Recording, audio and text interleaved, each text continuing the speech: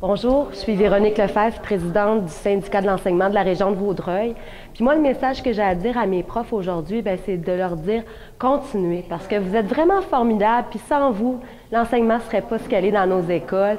Puis euh, je vous dis merci, puis continuez votre bonne mission auprès de nos élèves, puis allez faire réussir comme vous faites à tous les jours. Merci encore. Bonne journée.